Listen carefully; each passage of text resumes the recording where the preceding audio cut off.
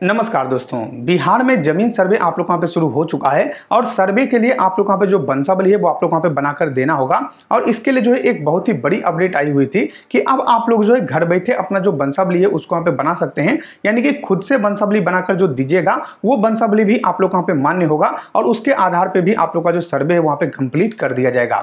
तो आज मैं आप लोग को दिखाने वाला हूँ कि आपको जो है घर बैठे किस तरीके से अपना बंसावली बनाना है किनका किनका आप लोग को सिग्नेचर लगाना है, किस तरीके से पूरा आप लोग को एक सादे पेज पे अपना जो बंसावली है, वो लिखना है। सब कुछ मैं आप लोग को जो लाइव लिख कर यहाँ पे दिखाने वाला हूँ। तो आपको कहीं भी भटकना नहीं होगा। ये बंसावली आप खुद से बनाइएगा। आपको सरपंच के पास जाने की आवश्यकता नहीं है। खुद से बनाकर जो है सर्वे में आप जमा कर दीजिए। आप लोग यहाँ पे सर्वे हो जाएगा। कोई भी दिक्कत यहाँ पे नहीं होने वाला है। किस तरीके से आप लोग को बंसावली बनाना है, मैं खुद जो है सादे पेज पे पेन के माध्यम से यहाँ पे दिखा दूँगा। तो आप जो वीडियो पूरा ज़रूर देखेगा। लेकिन उससे पहले अगर अभी तक आप हमारे टेलीग्राम या फिर व्हाट्सएप चैनल से नहीं जुड़े हैं तो उसका जो लिंक है वो आप लोग को डिस्क्रिप्शन में मिलेगा। ज़रूर जो ज्वाइन हो जाइए।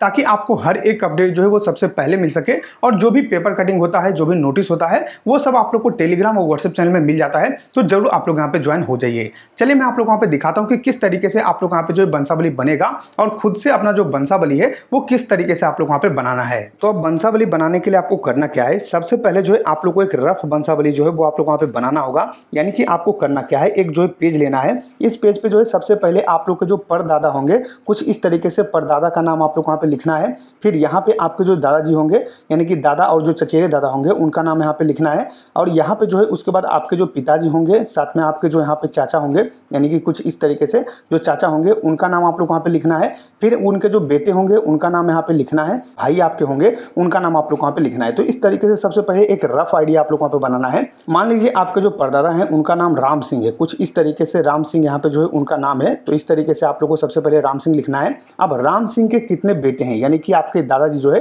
कितने भाई हैं तो मान लीजिए कि राम सिंह के जो है दो बेटे हैं एक जो है श्याम सिंह और एक जो है आप लोग का मोहन सिंह तो इस तरीके से यहाँ पे जो है श्याम सिंह लिखना है श्याम सिंह यहाँ पे जो है आप लोग को लिखना है और एक जो है मोहन सिंह है तो मोहन सिंह यहाँ पे जो है कुछ इस तरीके से आप लोग को यहाँ पे लिख देना है तो ये जो है एक आपके दादा हो गए एक आपके जो है चचेरे दादा हो गए तो दो आप लोग यहाँ पे हो गए अब उसके बाद उनके जो है कौन बेटे हैं मान लीजिए आपके जो दादा हैं वो जो है श्याम सिंह है तो श्याम सिंह के कितने बेटे हैं वो आप लोग को यहाँ पे बताना है यानी कि आपके जो पिताजी हैं वो कितने भाई हैं वो आप लोग यहाँ पे बताना है तो मान लीजिए श्याम सिंह के जो है तीन बेटे हैं एक जो है यहाँ पे राहुल हो गए कुछ इस तरीके से एक जो है राहुल हो गए एक जो है यहाँ पे आप लोग के गोपाल हो गए एक जो है गोपाल यहाँ पे लिख देना है फिर यहाँ पे एक और बेटे हैं जिनका कि नाम यहाँ पे बंटी है तो यहाँ पे बंटी लिख देंगे तो ये तीन बेटे यहाँ पे हो गए तो ये जो है उनके जो है तीन बेटे हैं जो यहाँ पे श्याम सिंह है उनके तीन बेटे हैं अब यहाँ पे आपके पिताजी का नाम क्या है वो आप लोग यहाँ पे बताना है तो ये मान लीजिए आपके चाचा हो गए गोपाल और बंटी जो है आपके चाचा हैं और राहुल जो है ये आपके पिताजी हैं तो राहुल सिंह के कितने बेटे हैं वो आप लोग यहाँ पे बताना है तो राहुल सिंह के जो है दो बेटे हैं एक रोहन कुछ इस तरीके से रोहन सिंह और एक जो है सोहन सिंह सोहन सिंह यहाँ पे जो है दो बेटे हो गए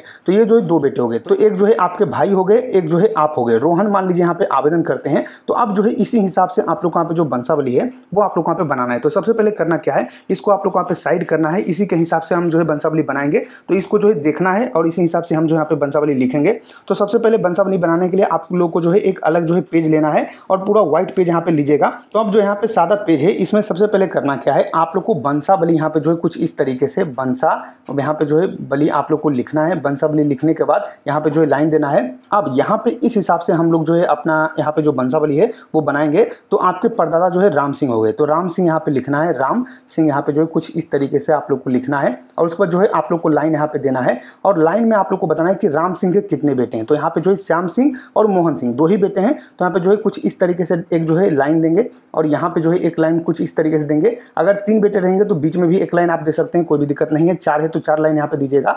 तो मान लीजिए कि दो बेटे हैं, एक जो है श्याम सिंह और एक जो है मोहन सिंह। तो यहाँ पे जो है श्याम सिंह कुछ इस तरीके से लिखना है। श्याम सिंह हम यहाँ पे जो है लिख देते हैं। श्याम सिंह लिखने के बाद यहाँ पे जो है मोहन सिंह है तो मोहन यहाँ पे लिखेंगे।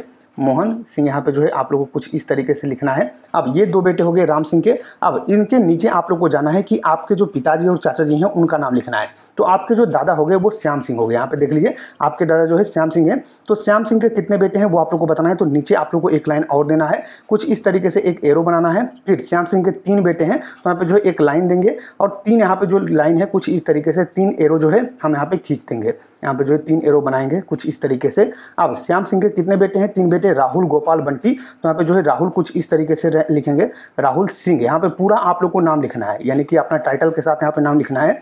फिर यहाँ पे जो है गोपाल आप लोग को लिखना है। यहाँ पे गोपाल और सिंह यहाँ पे लिखेंगे। फिर अगले जो है बंटी हैं, बंटी सिंह। तो यहाँ पे बंटी सिंह यहाँ पे लिखेंगे। कुछ इस तरीके से। तो यहाँ पे श्याम सिंह के तीन बेटे हैं, राहुल, गोपाल, बंटी। तो यहाँ पे जो है तीनों का नाम लिख दिए।